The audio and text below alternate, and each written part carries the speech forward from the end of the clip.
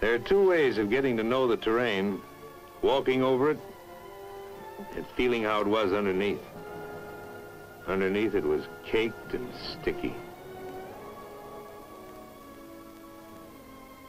The tools of a soldier's trade, a shovel and a gun.